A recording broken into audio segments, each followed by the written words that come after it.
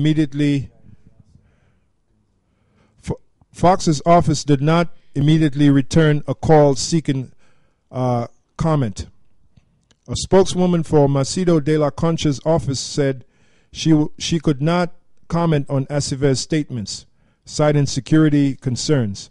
But Macedo himself mentioned the chip program to report to reporters Monday, saying he had received an implant in his arm. He said the chips were required to enter a new federal anti crime information center. It's only for access for security, he said. The chips also could provide more certainty about who accessed sensitive data at, at any given time. In the past, the biggest security problem for Mexican law enforcement has been corruption by officials themselves. That's all we need to read. We get we got the gist of uh, what it's all about. Okay, Let, us go back to uh, this. Uh, let's go back to this beam beam footage. Yeah, while you while you're looking for it, um, no, uh, no, no, because in that production, Nate, when he was talking about the Illuminati, let's sit on that. Let's sit on that. You can come back. He let's showed a yeah, he showed a picture of uh, the Bohemian Grove. He showed a picture of the forty foot stone owl, which is known as yeah, which is known as human sacrifice. Yep, talking about human sacrifice, where you mentioned about children being killed by the Illuminati, which is true. They're being sacrificed, especially at something called the cremation of care. All right, now at one time, the Bohemian Grove, the cremation of care, all of that was a conspiracy theory. Now people are finding out it's a conspiracy fact. All right, because way back in 1981, there was a, ABC News segment that was done featuring the Bohemian Grove. Now, a question. What have Herbert Hoover, Art Linkletter, Jack London, and Richard Nixon all had in common? Well, they've all been members of the exclusive all-male Bohemian Club in California, where every year at this time, the elite from around the country get together for two and a half weeks of uh, fun and games. Steve Shepard has this special assignment report. More than 2,000 members of San Francisco's exclusive and all-male Bohemian Club have once again descended on Northern California. These men will spend most of the month of July encamped on some 2,700 acres of pristine and privately owned redwood forest. Forest very much like this. The place is called Bohemian Grove, and it's located just 80 miles north of San Francisco. The Grove is the Bohemian Club's summer retreat, and its facilities are hidden beneath lush forest canopy extending south from the banks of Sonoma County's Russian River.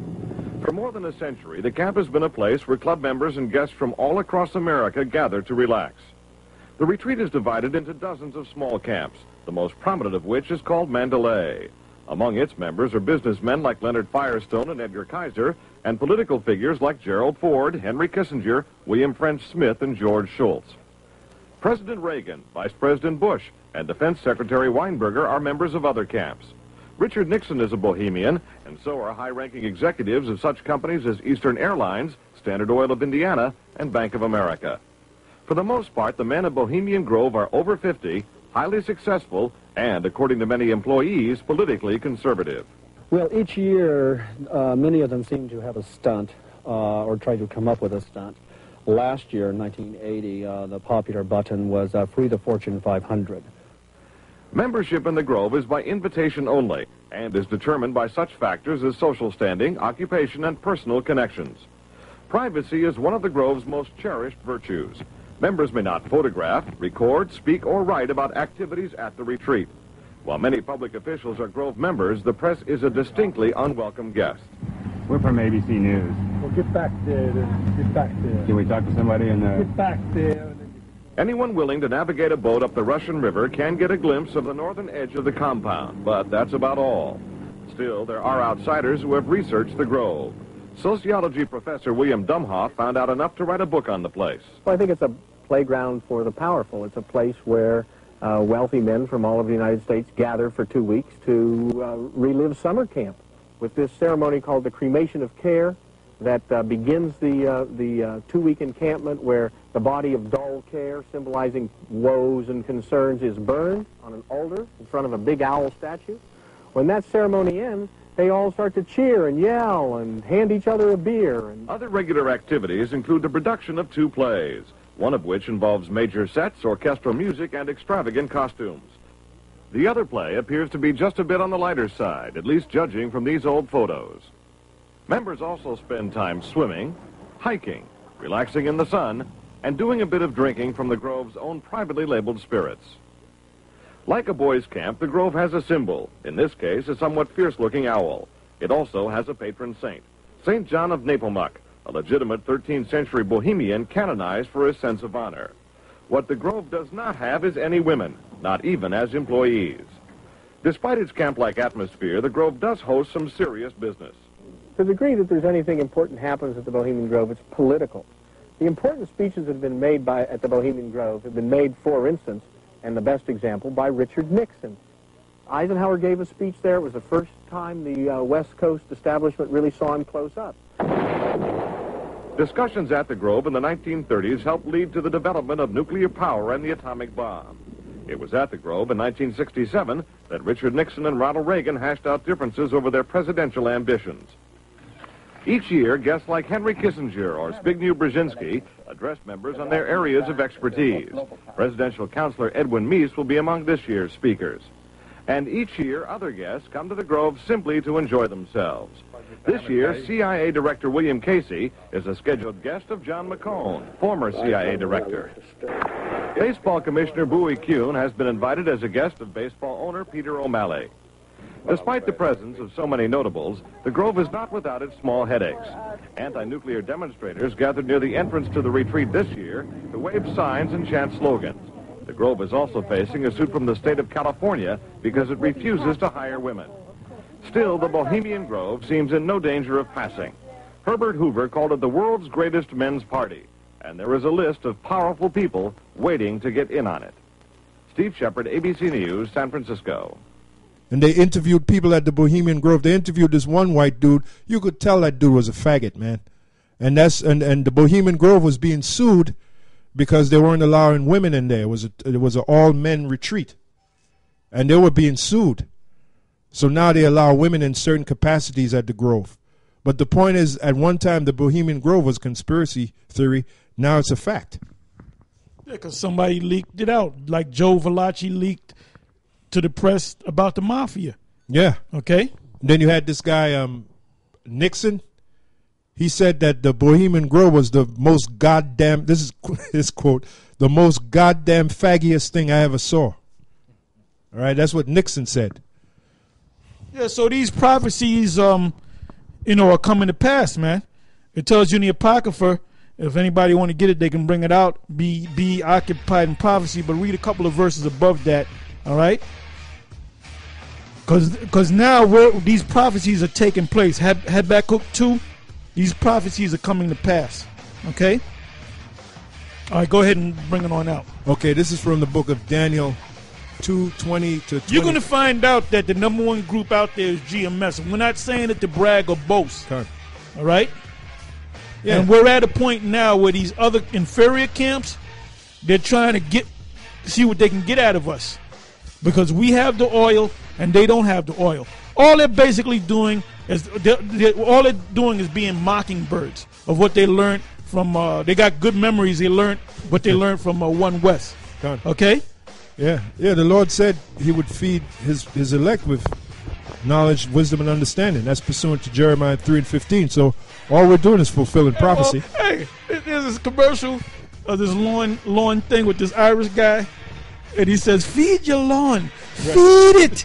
Right, right. Hey, but he does, he says it with Right, you know With passion convictions. So you got to if you want your your your your crops to grow, your grass to grow, you got to feed it. Yeah. So we're feeding you. All you got to do is take it. You Yeah. got to you got to di- and you got to digest it. Yeah. You can't eat it and spit it out. Yep. You got to eat it and digest it, man. Yep. And that's how you get your nutrients and your your vital nutrients and so forth, your minerals, you know, Yep. your your your your your your um your all, all the things that you need for the body That's to right. keep the body going. All right. That's right. If there's there's certain foods if you don't eat, you can go blind, man. Yeah. You can get a heart attack. Done. You know, there's certain foods and certain combination of foods and, and herbs, because the scriptures speak about herbs and so forth. all right, that you must take into your body and you must digest it. You don't you don't taste it. You must digest it. Right. That's that's when the food works. That's when it, it converts into these vital nutrients and um, minerals and, and, and, and everything good for your body. So, you know, when you when you want to fill your spirit, you got to go to the scriptures. That's right. But you have to have teachers to teach you. break it down. Not all these guys are teachers, man. They might say that they're teachers. Right. Just because you say you're a teacher, don't mean you're a teacher, man. right. You know? Right. We are the real teachers, man. And like I said, I'm not saying it to brag and boast. I'm saying it because it's a fact. It's not a conspiracy, man. It's a fact. Okay? That's right. That's right. And you see it every day. That's right. This is the book of uh, Proverbs 25 and 16. Now, a lot of these guys, I don't know for sure. I could be wrong, but I'm I'm almost positive. Don't be watching on them young guys. Don't be watching GMS videos because they'll corrupt you. Well, you know what I told our, our guys coming up? I said, watch all them videos, man. You can watch all the Illuminati videos, conspiratory. You can watch Alex Jones. You can, you can watch uh, uh, uh, Nate. You can watch uh, uh, um, uh, um, damn House of David. You can watch uh, Yusuf. You can watch whatever you want because through the spirit of Yahweh by Shem Shai, we gave you the knowledge and gave you and through, th- through that you built a filter up to know what's bullshit and what's not bullshit. All right, and we encourage that. Okay. Uh, this is Proverbs 25. By the way, that's not an Illuminati sign. It's, it's oh, that's a gang sign. That's just my hand go, going like that. Okay. Uh, Proverbs 25, 16. Hast thou found honey? Eat so much as is sufficient for thee, lest thou be filled therewith and vomited. It is not good. Well, that's what happened with Mike. Yep. Yep. Because Mike was so into it that he started writing books, which he said that we made him write write these books, which we didn't do that, but let's say we did. So so what? If we tell you to do something, you're under us, man. Scripture said obey them to have the rule over you, man. So I mean, if we told you to write it and that's the order, that's the order. That's why you came into the camp, man. I mean, if you had a problem like that, you could have did set up your own camp and did it, did it on your own, man. There's people that do that every day. Anyway, he got all this information and it and it and it stopped up his system, so he vomited back out. And who did he run to? He run to the least guy out there, Baloo. Okay, and this guy don't know the scriptures. Show me one video where this guy actually goes into prophecy, man. There's not one. It's not one. Not one. oh, right now, Ven- and I got the video clip, but I'm not. I don't even have to show it. The the, the uh, producer, you might want to put it up if you want. Down there in Venezuela, there, there was like almost 20 people dead, if not 20, close to 20. I think it was 13 actually. They're rioting like mad down there. Now, what's happening is they they can't get food, they can't get milk, they can't get they can't get uh, uh, uh, flour, they can't get oil. And those are the bare necessities. That's why they're rioting, man. See, you're not doing it up here in the U.S., but you will be doing it when your back is to the wall, because there's several uh, parents out there with young babies that need to get fed, and they have to get fed themselves. The parents got to feed themselves to stay alive. Now, let's say you go to the supermarket and there's nothing in there, and then you go to the authorities, you call the cops or whatever, and they don't give you no answer. What answers? What are you going to do? You're going to go to rioting, man. See, people in the U.S. they think that it's going to be like this way forever, man. The, the the examples that you use are the situation out there in Greece, in Egypt. All right, that's been a a, a hotbed. What since 2010, if I'm not mistaken. You got this situation down there in Venezuela. You got this uh, Syrian the situation down there in Syria. You got the situation down there in Ukraine, Afghanistan. So I mean, eventually it's going it's going to come right over here. Yep. As a matter of fact, you know what? Let's go back. Let's go back to that. Let me see if I can find that. Yeah, there's an old saying: a, a hungry man is an angry man. So you know, when you're hungry and your belly's rumbling, you know, you're gonna lose it. Yeah, that's it right there. That's it right there. My name is Daniel Bushell. Why is the US government preparing for civil war coming up? large sections of the U.S. prepare for armed revolution. Hollow points of the DHS. And that virus on your computer. The Army now links to systematic covert operations on anyone who criticizes multinationals.